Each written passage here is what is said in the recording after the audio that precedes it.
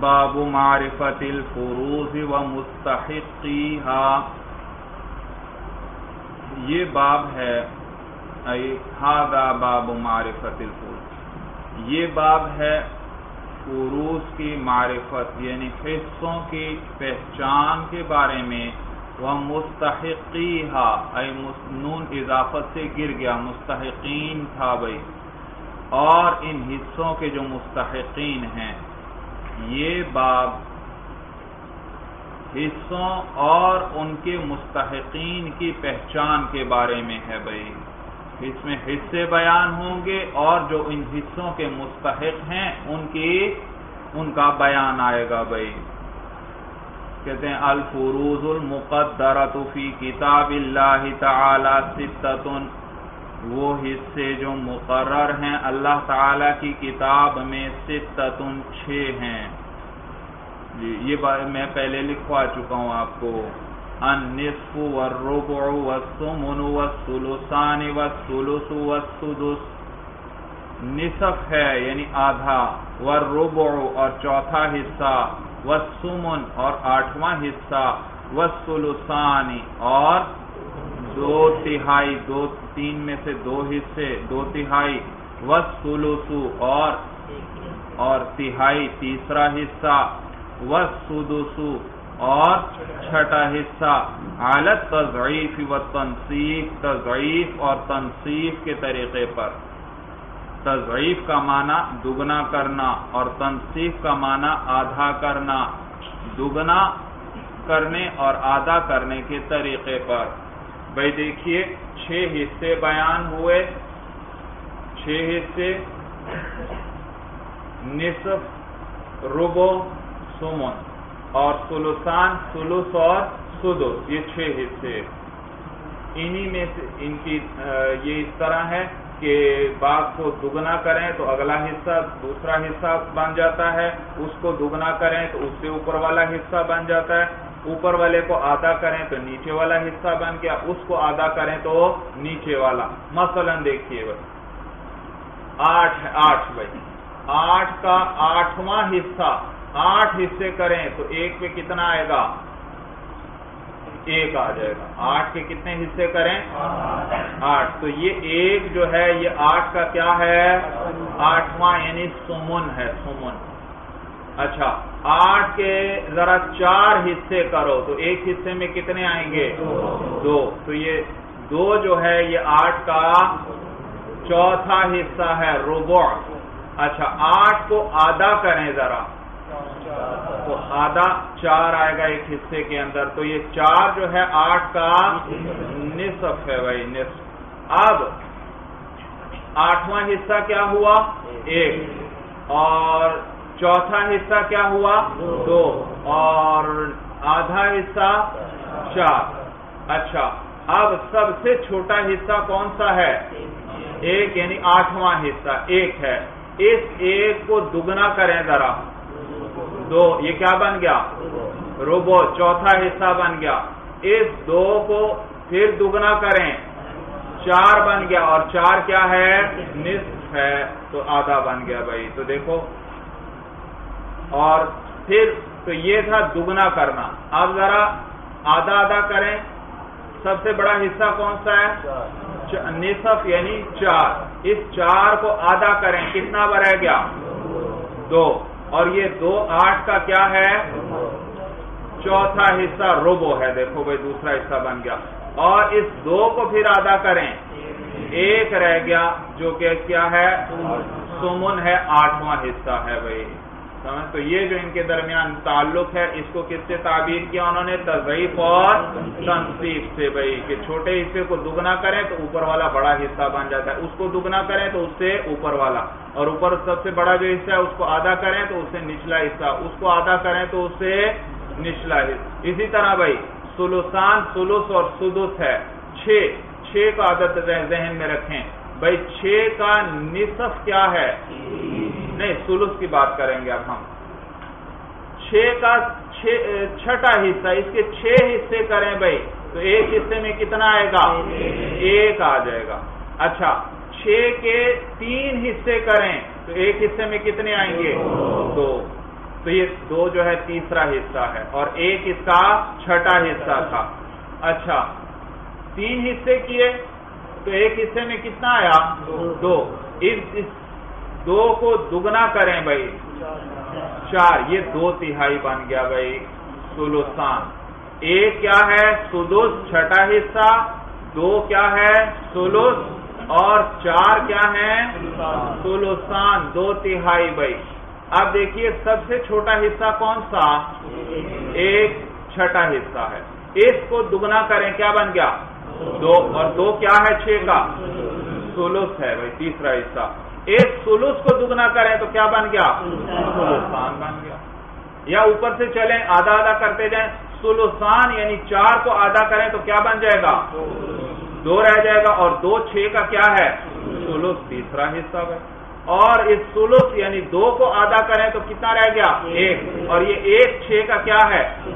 سلوس چھٹا حصہ ہے بھائی۔ بات سب کو سمجھ میں آ گئی؟ یہ مانا ہے تضعیف و تنصیف کا۔ تو چھ حصے ہیں، نصف ربو اور سمن اور سلوسان، سلوس اور سدس الگ تضعیف و تنصیف تضعیف اور تنصیف کے طریقے پر۔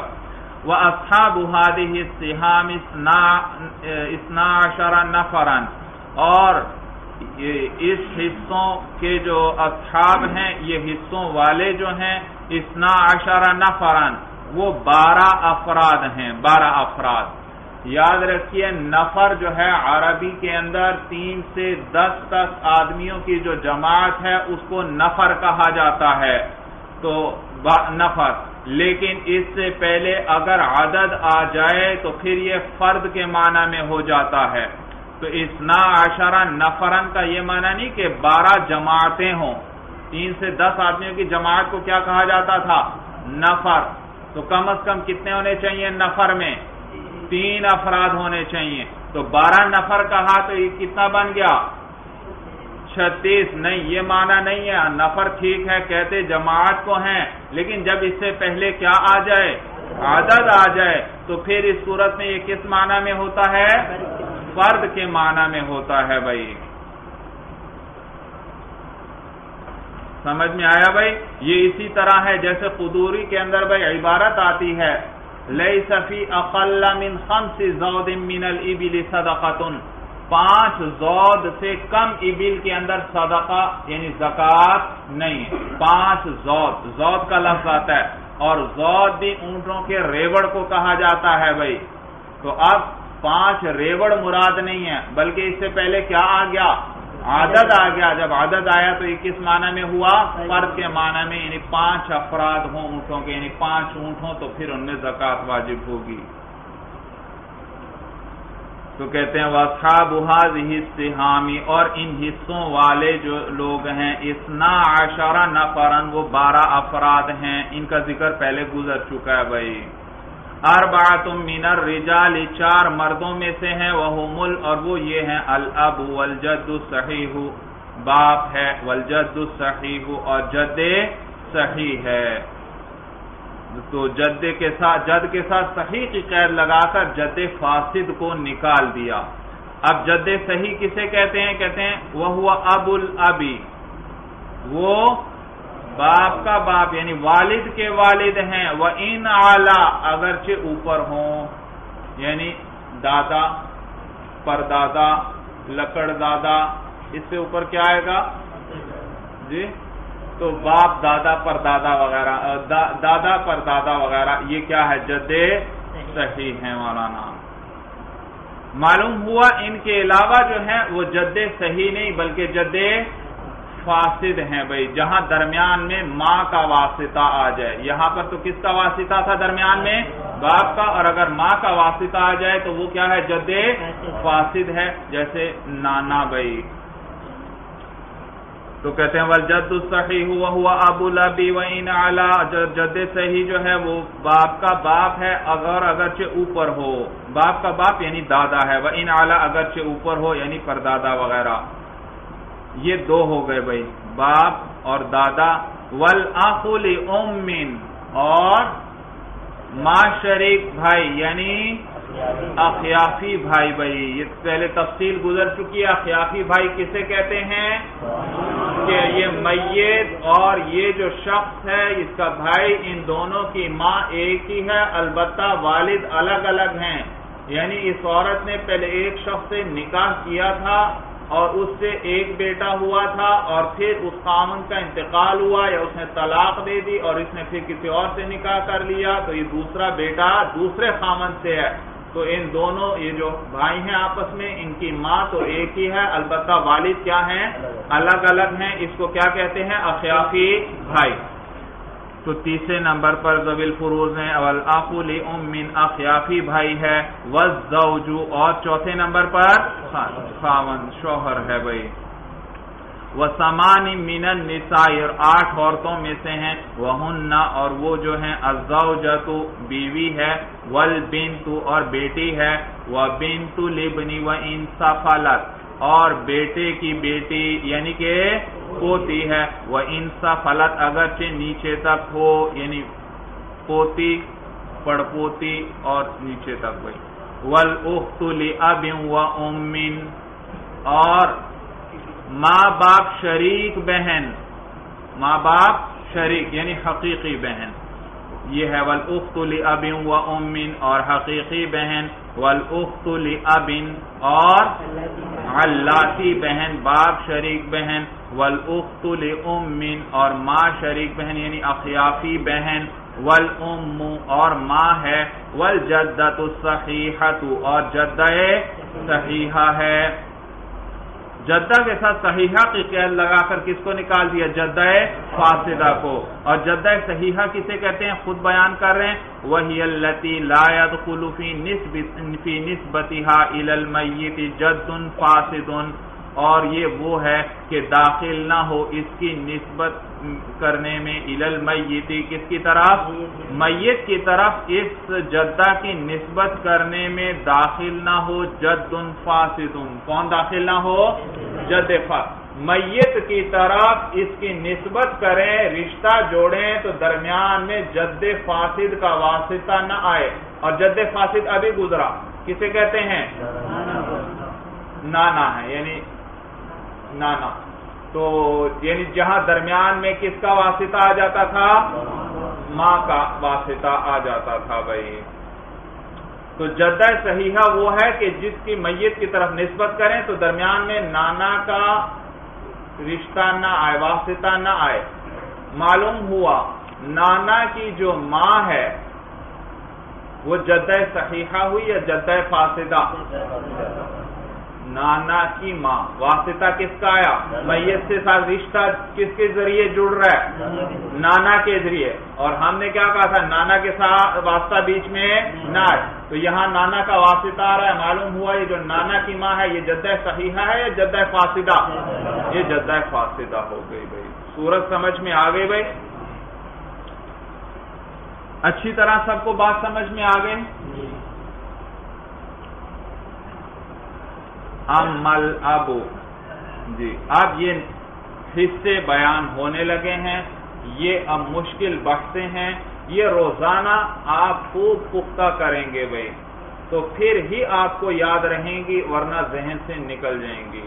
اور یہ چیزیں آپ کو یاد ہوں گی تو آگے آپ مسائل حل کر سکیں گے کہ مثلا کسی کا انتقال ہوا، فلاں فلاں وارث باقی ہے، کس کو کتنا کتنا حصہ ملے گا۔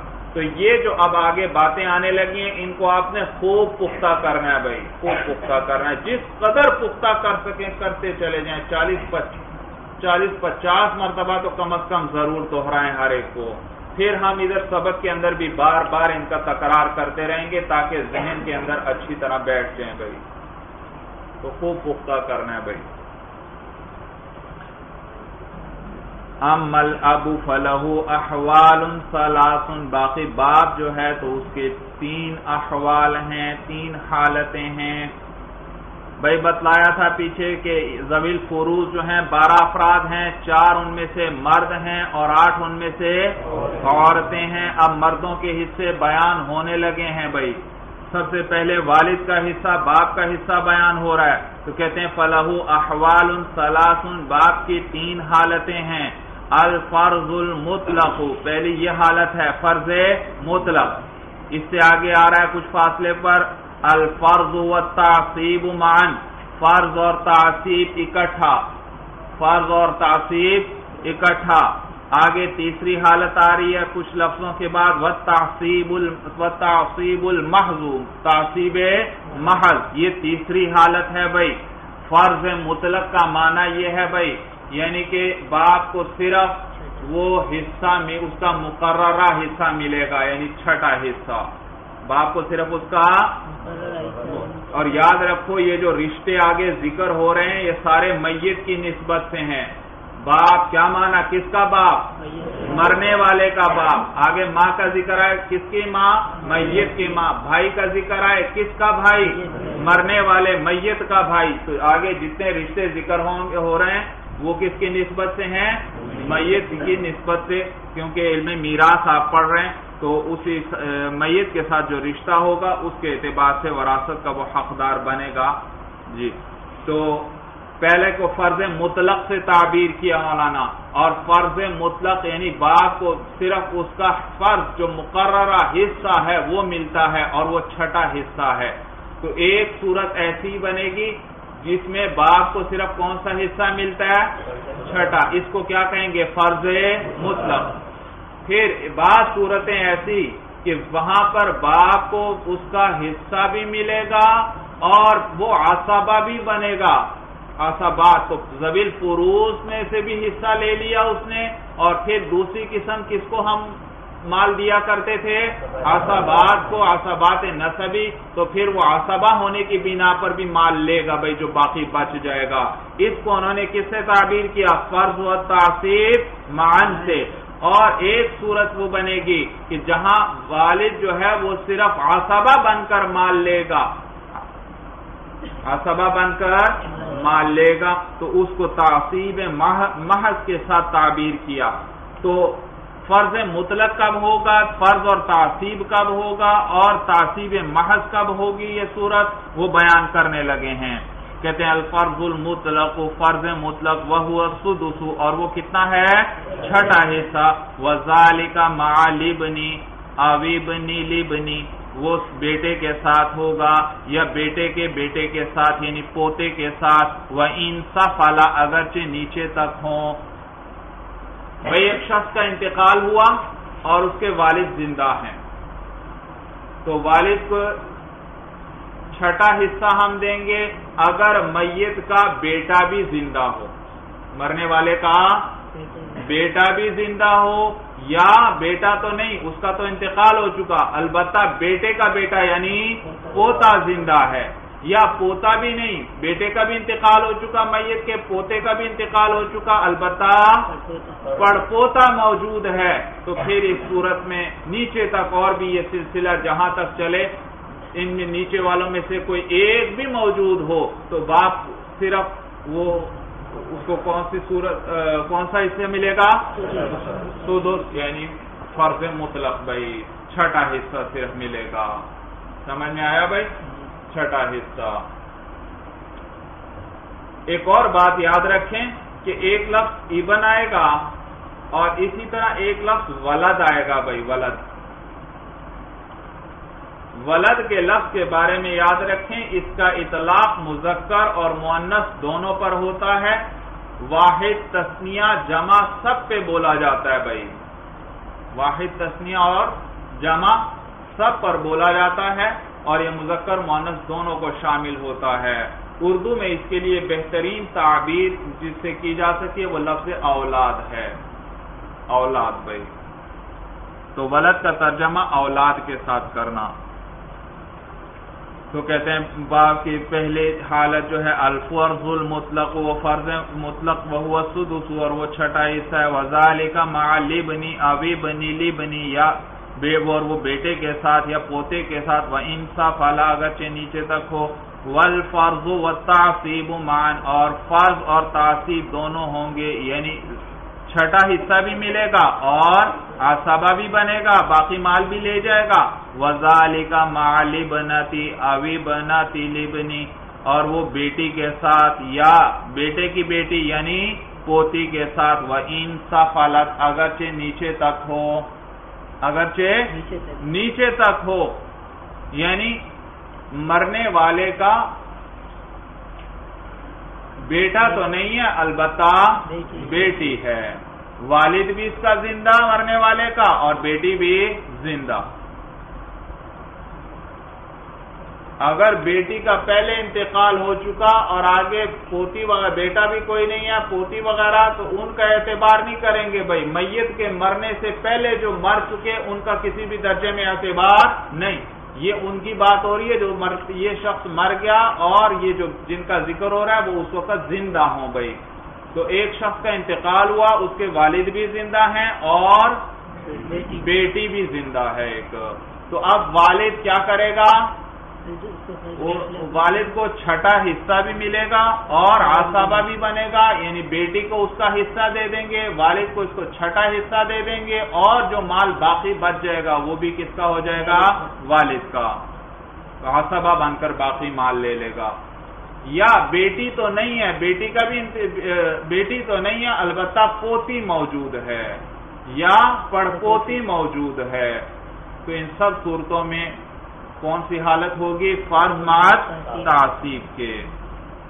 وہ تعصیب المحض اور تیسری صورت تعصیب محض کے صرف عصبہ بنے گا۔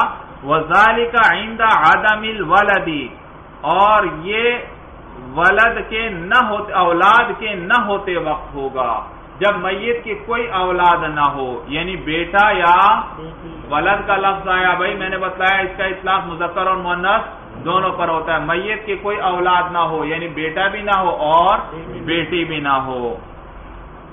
جی۔ وہ ولدی لیبنی و انصفلا اور بیٹے کی اولاد یعنی پوتا پوتی بھی نہ ہو۔ وہ ان سفل اگرچہ نیچے تک یعنی پڑپوتا پڑپوتی وغیرہ بھی نہ ہو بھائی۔ تین صورتیں سمجھ میں آ گئیں۔ پہلی صورت کے والد کو صرف کتنا ملے گا؟ چھٹا حصہ۔ کب؟ بیٹا یا بیٹا یا پوتا یا پڑ پوتا اور دوسری صورت ہے کہ فرض حصہ بھی ملے گا اور آسابہ بھی بنے گا۔ وہ کس وقت؟ جب میت کی بیٹے یا پوتی یا پڑ پوتی موجود ہوں بھائی نیچے تک۔ اور تیسری صورت ہے کہ صرف آسابہ بنے گا۔ وہ کب؟ میت کی کوئی اولاد نہ ہو۔ بیٹا بیٹی، آگے بیٹے کی بھی اولاد نہ ہو۔ نصب کس سے چلتا ہے بھائی؟ باپ سے چل رہا ہے تو مذکر کے اندر اس کا اعتبار کر رہے ہیں بھائی۔ بیٹے کی اولاد بھائی۔ بیٹی کی اولاد کی بات نہیں کر رہے۔ تو لہذا میت کی اولاد بھی نہ ہو اور بیٹے کی اولاد بھی نہ ہو اسی طرح نیچے تک پوتے کی اولاد بھی نہ ہو پڑ پوتے کی اولاد بھی نہ ہو۔ تو صرف آسابہ بنے گا بھائی۔ آسابہ بن جائے گا۔ آگے دیکھیے ولجد صحیح کل ابی اللہ فی اربع مسائل۔ اور جد صحیح جو ہے جد صحیح کس کو کہتے تھے؟ دادا۔ جہاں ماں کا واسطہ درمیان میں نہ آئے۔ تو جد صحیح کل ابھی وہ بھی والد کی طرح ہے۔ یعنی وہاں بھی یہی تین صورتیں بنیں گی بھائی۔ اللہ کے اربعی مسائل، مگر چار مسائل کے اندر وہ سنس قروحافی مواز اور ہم ذکر کریں گے ان کو، ان کی جگہوں کے اندر، ان کے مقامات پر وہ چار مسائل جن میں صورت صورت مختلف بن جائے گی۔ انشاءاللہ تعالی، چلیے بس اللہ علم حقیقت الکلام۔